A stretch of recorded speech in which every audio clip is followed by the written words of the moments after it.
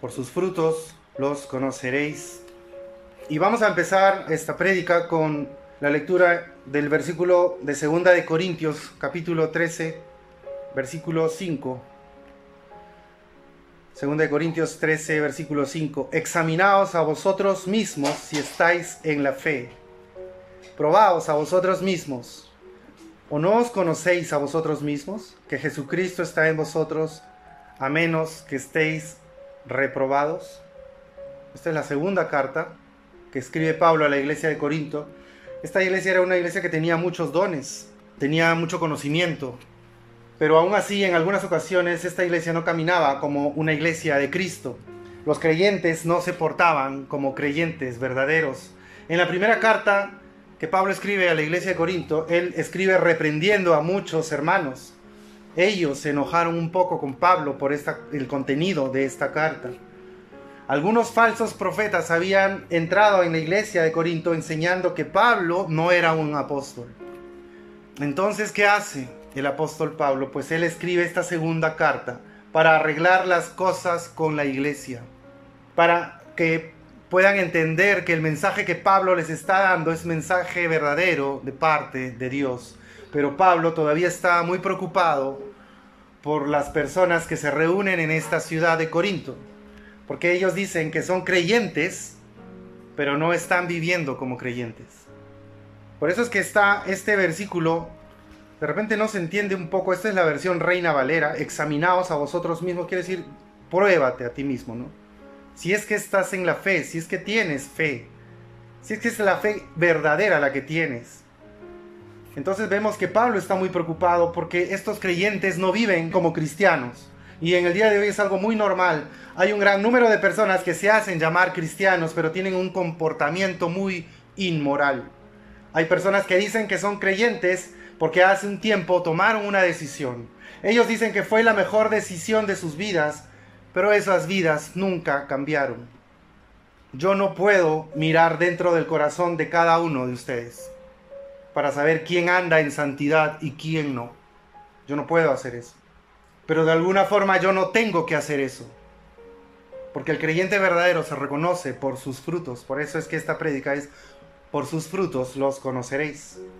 El ser humano nace con la tendencia al pecado. El hombre nace con un corazón corrupto, pero Dios tiene el poder de cambiar ese corazón.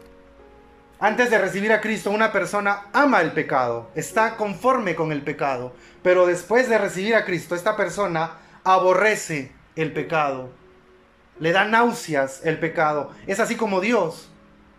Dios aborrece el pecado y si yo soy hijo de Dios, entonces yo también aborrezco el pecado. Hay un cambio en su corazón. Y la pregunta importante para, para ti, para mí, para todos nosotros es, ¿este corazón realmente ha cambiado? ¿Amas la santidad y aborreces el pecado? ¿Te estás alejando más y más del mundo y te estás acercando más y más a Dios?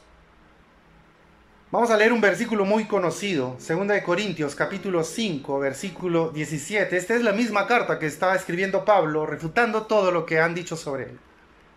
De modo que si alguno está en Cristo, nueva criatura es. Las cosas viejas pasaron, he aquí todas son hechas nuevas. Hermanos, no solamente memoricemos este versículo, sino analicemos a profundidad qué, qué significa lo que estamos leyendo y lo que está diciendo Pablo a la iglesia de Corinto. Vamos a entenderlo bien. Dice otra vez, si alguno está en Cristo, nueva criatura es. Las cosas viejas pasaron y aquí todas son hechas nuevas. Esto quiere decir que si tú no eres una nueva criatura, si tu mala conducta no ha pasado, si las cosas viejas no son hechas nuevas en tu vida, entonces tú no eres cristiano, tú no estás en Cristo. Vamos a leer nuevamente el versículo que empezó la prédica, segunda de Corintios, capítulo 13, versículo 5. Pero miren, yo lo voy a leer en la nueva traducción viviente y creo que se va a entender mucho mejor. Y si no tienen esta versión, presten atención porque lo voy a leer yo. Segunda de Corintios, capítulo 13, versículo 5. Examínense para saber si su fe es genuina. Y escuchen lo que dice el apóstol examínense para saber si su fe es genuina. Cada uno sabe qué cosa está haciendo. dice también, pruébense a sí mismos. Sin duda, ustedes saben que Jesucristo está entre ustedes. Pero de no ser así, ustedes han reprobado el examen de la fe genuina. Son palabras duras del apóstol. Ustedes creen, ustedes dicen que Jesucristo está entre ustedes, pero de no ser así, entonces ustedes han reprobado ese examen. Su fe entonces no es genuina, entonces ustedes no son cristianos. Pablo está hablando a los que se dicen creyentes, pero que no están viviendo como creyentes. Para tener la certeza que somos salvos debemos examinar nuestras vidas. Este cristianismo de hoy en día, las personas hablan mucho de la decisión que han tomado. Muchos hablan que yo tomé mi decisión, yo hice una gran decisión, yo oré, yo, yo recibí a Cristo, yo levanté mi mano, hice la oración de fe, Cristo me ha salvado. Pero en 2 Corintios 13:5 Pablo está diciendo que todos, todos absolutamente debemos examinar nuestro estilo de vida para confirmar si Cristo está entre nosotros. ¿Y cómo hago eso, pastor? ¿Y cómo hago eso? ¿Cómo me examino yo? ¿Qué hago? Pues por medio de examinar mi vida en contraste con las escrituras. Yo tengo que examinar mi vida, probar mi vida, qué cosa estoy haciendo, qué conducta tengo, qué palabras estoy usando en mi día a día a la luz de las escrituras. La primera carta del apóstol Juan es una carta en donde da varios pasos, donde da varias pruebas para que uno mismo se examine. Miren lo que dice Primera de Juan capítulo 5, versículo 13 estas cosas os he escrito a vosotros que creéis en el nombre del Hijo de Dios. ¿Para qué? Para que sepáis que tenéis vida eterna. Cuando Juan dice estas cosas os he escrito, y esta frase se refiere a todo lo que el apóstol Juan ha escrito en su libro, en esta carta. Si estudiamos a profundidad esta carta, esta primera carta de Juan a la iglesia, entonces encontramos que consiste de varias pruebas, en donde nos confronta nuestra vida con lo que dicen las escrituras, con lo que dicen las leyes de Dios. Cada creyente debe examinarse a la luz de esta primera carta de Juan. Él explica algunas de las características más importantes de una persona que de verdad es cristiana. Lo que debemos hacer entonces es comparar nuestra manera de vivir con aquello que está escrito. Y si vemos algunas contradicciones, entre lo que está escrito y nuestro comportamiento, entonces en ese momento debemos tener miedo. Porque estamos yendo en contra de lo que está escrito. Cuando te das cuenta que tú no quieres ser como Cristo, sino como el mundo, cuando tú no aprendes de Cristo, sino que el mundo es tu maestro, entonces estás viviendo engañado y lo peor de todo es que ni siquiera te das cuenta. Y esto es un asunto muy serio, mis hermanos. Un asunto muy serio, porque hay tantas personas dentro de las iglesias que dicen ser cristianos, pero no lo son. Lamentablemente, esa es la verdad. Pasó en la iglesia del primer siglo, pasa ahora. Vamos a leer el Evangelio de Mateo capítulo 7 versículos 13 y 14. Entrad por la puerta estrecha, porque ancha es la puerta y espacioso el camino que lleva a la perdición, y muchos son los que entran por ella. Porque estrecha es la puerta y angosto el camino que lleva a la vida, y pocos son los que la hallan. En la primera parte, en el versículo 13, el Señor Jesús está diciendo que este camino espacioso lleva a la perdición. Y cuando habla de perdición, se refiere al infierno. Vemos aquí que el Señor está enseñando entrad por la puerta estrecha.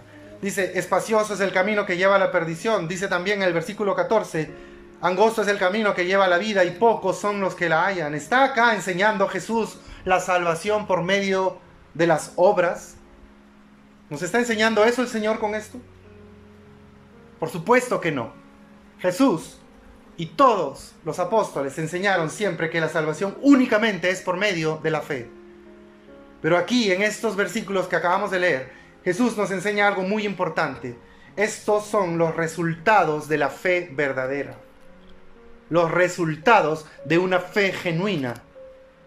Una persona que de verdad ha puesto su fe en Cristo para salvación no va a caminar por el camino espacioso, sino que va a caminar por un camino que está muy bien definido, muy bien marcado por la voluntad de Dios. Ese es el camino de alguien que ha recibido a Cristo en su corazón y que tiene la fe genuina en su corazón. En el día de hoy hay un problema muy grande, porque hay cristianos que dicen, amo a Cristo, Cristo es mi Salvador, y lo dicen a voz en cuello, pero ellos caminan por el camino espacioso. Viven como el mundo vive, viven a su antojo, no se nota nada de santidad en su vida, caminan en el mismo camino del mundo. En estos días, hermanos, lamentablemente, es muy difícil encontrar pastores predicando en contra del pecado. Y por esta razón es que hay muchas personas diciendo, soy cristiano, amo a Cristo, pero viven y hablan como el mundo. Cristo dice que una de las evidencias que de verdad tú has creído en Él es que no vas a caminar en el mundo, no vas a caminar por el camino espacioso.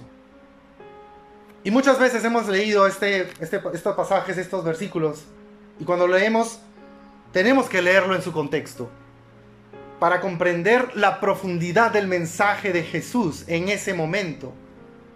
Al parecer todo está muy claro, pero aquí tenemos que ir mucho más allá, porque muchas personas interpretan aquí que en este camino espacioso está la mayoría de personas del mundo.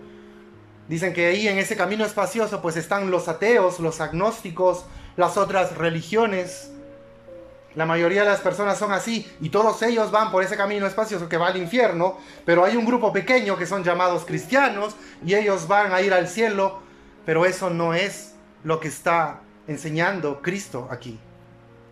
Y miren muy bien lo que está enseñando Jesús, que es algo muy fuerte.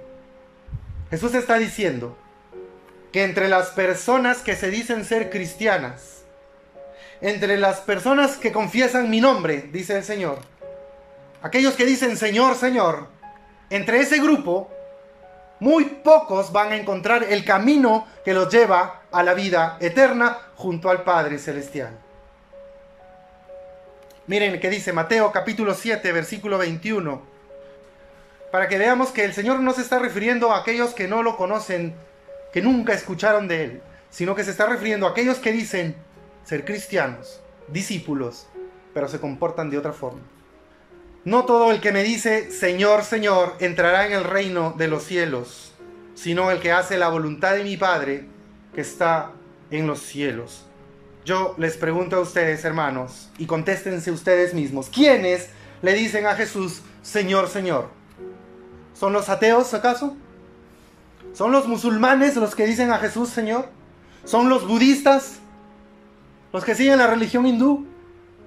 Por supuesto que no. ¿Quiénes son los que le dicen a Jesús, Señor, Señor? Los cristianos son los que tienen a Jesús como Señor. Jesús está diciendo aquí, no todo el que me grita, Señor, Señor, en medio de la iglesia de Cristo, a veces un amén, un aleluya, un gloria a Dios, no todos ellos van a encontrar esa puerta estrecha. Los que confiesen que Cristo es el Señor, muchos de ellos no van a ser salvos. La confesión de fe no vale nada si solamente se ha hecho para salir del paso y no va acompañada de hacer la voluntad del Padre, porque aquí estamos leyendo, sino el que hace la voluntad de mi Padre que está en los cielos. ¿Cuántos aquí podemos decir, yo hago la voluntad del Padre? Seamos sinceros, hermanos, ¿cuántos lo pueden decir sinceramente? Yo hago la voluntad del Padre. Yo creo que muy pocos. Vamos a continuar los versículos 22 y 23 de Mateo 7. Mateo capítulo 7 y seguimos con los versículos 22 y 23. Muchos me dirán en aquel día, Señor, Señor, no profetizamos en tu nombre y en tu nombre echamos fuera demonios y en tu nombre hicimos muchos milagros.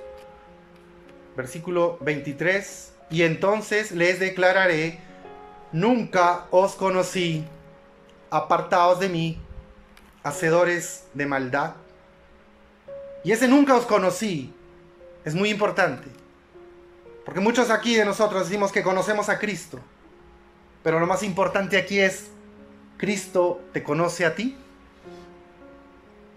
Para que el Señor después no diga, nunca te conocí. ¿Cristo te conoce hoy a ti? Miren hermanos, voy a ponerles un ejemplo. Si yo voy al palacio del rey de España y toco la puerta y digo, bueno, quiero entrar, obviamente nadie me va a dejar que yo entre.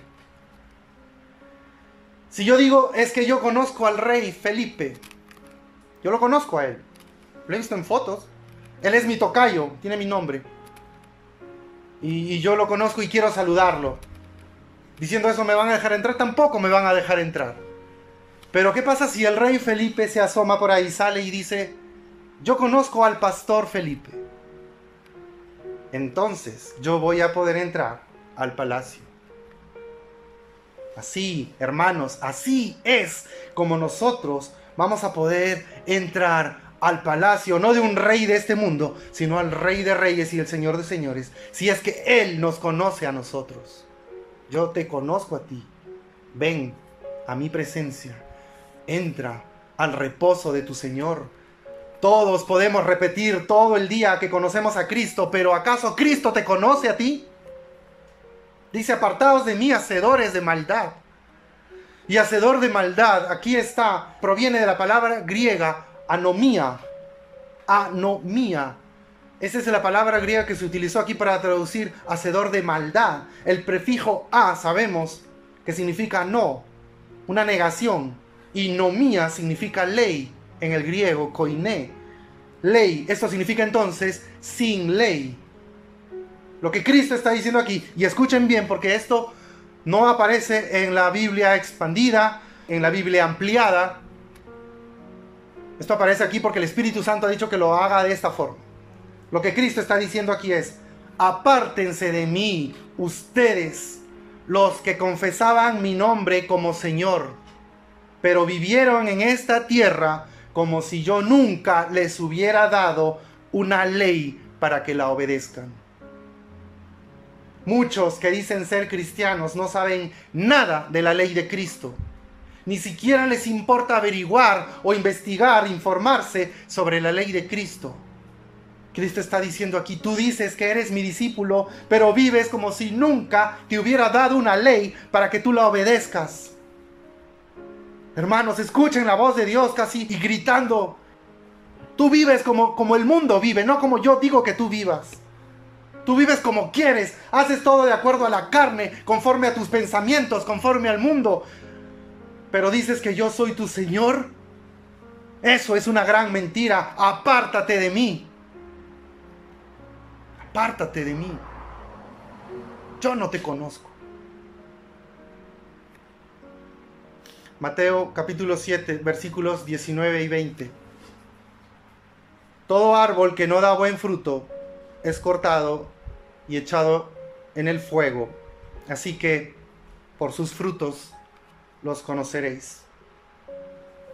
Está enseñando aquí Jesús que debemos hacer obras de salvación, que debemos hacer obras para que podamos ser salvos. Está enseñando Jesús aquí que debemos dar buen fruto para salvación el Señor Jesús no está diciendo aquí que la salvación se, obtiene por un buen fruto, no. Jesús está enseñando aquí que si somos salvos por medio de la fe, entonces la evidencia de nuestra salvación serán esos buenos frutos. Esa es la evidencia de mi fe genuina. No olvidemos lo que Cristo dijo, por sus frutos los conoceréis. Y lo que el mismo Jesús enseñó, que en el día del juicio muchos dirán, Señor, Señor, y la respuesta del Señor será, apártense de mí, hacedores de maldad, yo nunca los conocí. Y hermanos, pareciera este un mensaje fuerte, pero miren, yo prefiero escuchar esta declaración del Señor aquí, aprender de esto, hoy, en esta prédica, el día de hoy, y no escuchar esto en el día del juicio del trono blanco, cuando ya va a ser muy tarde, para cualquier tipo de arrepentimiento. Meditemos en esta palabra, hermanos, que es para nuestra salvación. Amén.